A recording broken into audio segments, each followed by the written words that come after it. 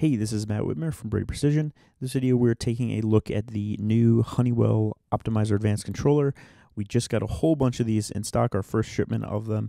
Uh, so we figured, hey, uh, might be time to give a quick little overview here on the YouTube channel. And we'll be doing uh, a lot more content on these controllers going forward, unboxings, uh, actual hands-on how you do certain things um, all that is coming. But in this video we're just going to do a quick overview of what the controller is what it can do and uh, why it might be interesting for you if you do honeywell. So let's jump in.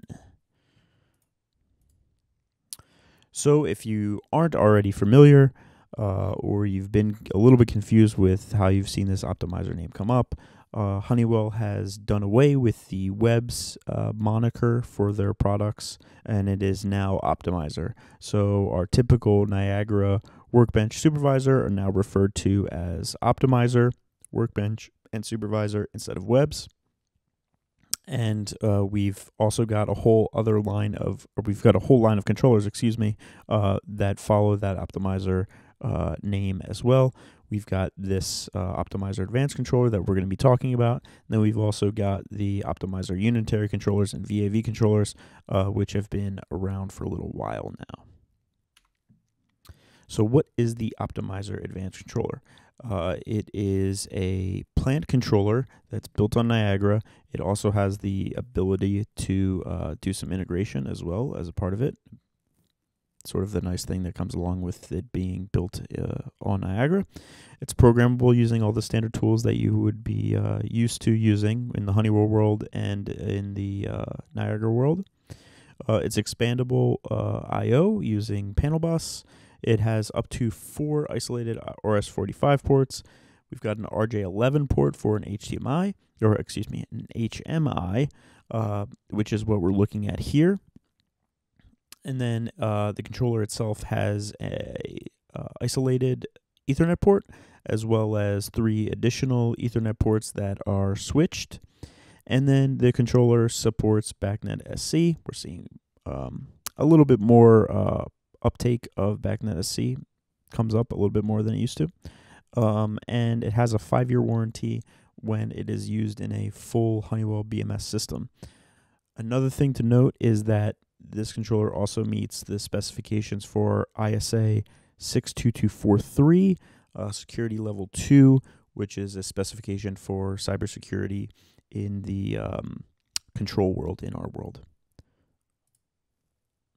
So hardware wise, what are we looking at on the uh, Optimizer Advanced? It uses a quad core ARM processor, um, slightly slower than what's in the 9000, but still a significant upgrade from uh, the 8000 and what you would have seen in any other uh, plant controller um, processors. We've got two gigs of RAM built in, excuse me, and eight gigs of flash memory as well. Uh, we've got, like I mentioned, with the Ethernet ports, one port's isolated. That's sort of our, our normal interface with the controller. And then we've got three switch ports. These um, support daisy chaining as well because they are switched. There's actually a switch chip in the controller. And then we've got up to four RS-485 serial ports. These have uh, multicolored LEDs that give you operational status, and they are is all isolated from one another. And then we've got the niceties of uh, installation. Uh, these can be wall wall mounted or your typical DIN rail uh, mounting. So these run full Niagara, uh, which means you need to be using 410U5 uh, or 412U2 uh, in order to use the controllers. Those are the minimums. Um, same programming as a Jace or a CIPer 50 for the operating system underneath the covers here. You're never really going to touch this, but it's good to know. It uses a Linux operating system instead of QNX. This is the way that uh, Tridium has moved with the 9000 as well. And then we get all of the normal supported protocols that you would typically see um, with a Niagara installation. Uh, one interesting thing to note is that uh, this controller does support LON uh, using the IF LON 2 um, little adapter. We'll I'll mention that a little bit later on, but it uses the uh, USB-C port in order to uh, get over to that converter. But it does support LON. And then we also have this uh, intelligent status LED, and the LED does the green, yellow, and red depending on um, what our status is. Uh, can give you a little bit more information than just a typical, you know, solid or off, that kind of thing. So as a comparison with uh, the 8000, the 9000, and the optimizer, you can see compared to the 9000, we're looking at a slightly slower processor. Um, I don't know that we're, you would really notice a difference with that. Um, same operating system, same memory, same onboard storage. We don't have uh, the ability to use an SD card uh, on the optimizer. Um, we can do up to four uh, RS-45 ports. Uh, no USB backup. Uh, we Ethernet ports. We've got that switched uh, three ports on here that we don't get on any of the normal JASES. And then we've got uh, Wi-Fi and Bluetooth coming later on, and the debug port on the Optimizer Advanced is not a USB to serial conversion. It's actually USB, and then it shows up as an Ethernet port on your computer when you plug into that USB so that you can connect to the controller over Ethernet. So ordering right now, we've got two part numbers uh, you can see here, and this is the breakdown of how those part numbers work. Um, I won't go fully into detail on those, but you can see we've got right now uh, two part numbers on the actual hardware itself. And then obviously, since it runs Niagara, we've got Niagara licensing. Um, you need a Niagara license, a core license, obviously. Uh, and these licenses uh, have two different parts to sort of keep in mind. The first of which is the number of devices that you're going to be um, integrating or talking to, and then the number of panel bus points that you're going to be bringing in as well. Um, so just keep both of those things in mind when you're uh, specking out your license Another thing to note is that the panel bus I/O does not count towards your device limit. It is a separate sort of uh, bucket of points that you're going to be looking at.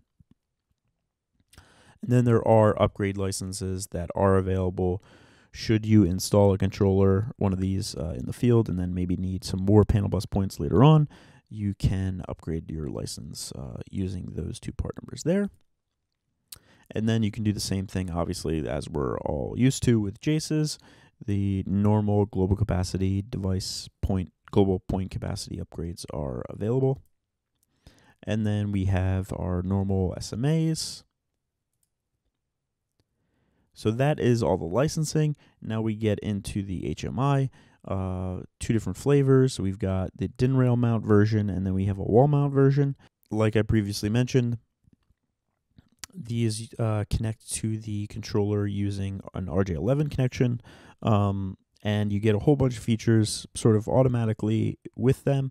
Uh, you get uh, a fast access list, which gives you the ability to like favorite points essentially, um, so that you can very quickly see those points uh, on a single screen. You can view and al- acknowledge alarms. You can create and modify BACnet schedules. Uh, you can look at your points, see what points are in manual or um, handoff auto, that kind of thing. Um, and then there's a user login as well, so that you can prevent somebody who's not authorized from getting into any of these uh, pieces. We'll have a deeper dive into the HMI here in the future, um, hands on, that kind of thing. Um, but that is good to know on that. So now we get into the I/O modules for the advanced. Um, they use the panel bus protocol. They have these um, what they call touch flake connections for easy installation on the sides. So you can see these little um, pads essentially on each side of the I/O, and that's how it talks to um, the controller, and it talks through other I/O modules. The terminals are all color coded based on what they are. Um, you've got handoff auto overrides on the display option models. Um, so you've got a little knob that you can control um, what your outputs are doing, um, that kind of thing, uh, and see all of those statuses directly on the display. Then you've got status LEDs for diagnostics, so an operational LED, uh, RS45 COM uh, LED, and then a service and uh, alarm LED. Uh, and then we've got easy commissioning, obviously on the HOA models with the display. Um, oops. You can override and test your outputs, um, and you can do this with or without the controller actually uh, connected and communicating. So you can use up to 64 of these I/O modules per panel bus channel, and then 16 I/O modules per model type.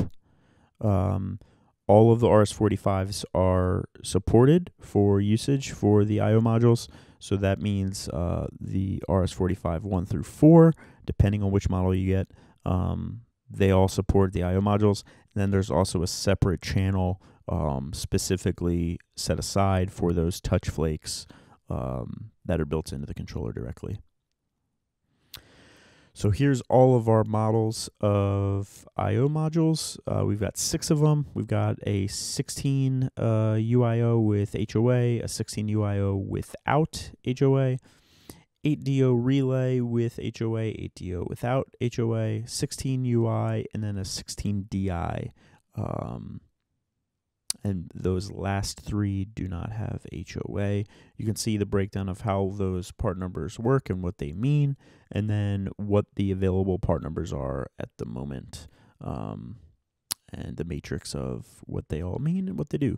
Uh, I should have mentioned this earlier. This presentation um, will be linked down in the description as well as on BP Tech Center. Um, so if you haven't signed up for BP Tech Center, go over there and do that. So the next piece is uh, if you wanted to use 45 to remotely uh, mount your I/O modules. Uh, they make an adapter that makes that possible. It basically takes the flake connections and breaks them out into uh, terminal blocks that you can just wire up as you would um, normally. So our maximum uh, and and I should say this brings out power and communication. So for RS45 as well as the 24 volts that you need for the uh, for the I/O modules, our max uh, cable length for the uh, power is going to be 328 feet, and the max RS45 comms cable length is uh, 2600 feet. Um, and then one end of all of this needs to be utilizing the end cover 10, which is a protective end cover and it has built in uh, end of line termination. And each of the uh, advanced controllers includes one of these end covers. As I mentioned way earlier on, these controllers are also capable of doing LON. Uh, the IF10 or IF LON 2 USB FT10 LonWorks interface will get that done for you. The LonWorks driver is included on the controller. Uh, you would just need this adapter, hook it up with uh, USB C to micro USB cable, and uh, you would be off and running. So that does it for basically the this overview of the Optimizer Advanced not as quick as I hoped because there's a lot to cram in here. There's a lot of functionality. There's a lot of new parts. Um, so if you have any questions, leave them down in the comments below. Uh, if you haven't already, like and subscribe, and we'll see you in the new year. Uh, have a happy and successful 2024. Thanks.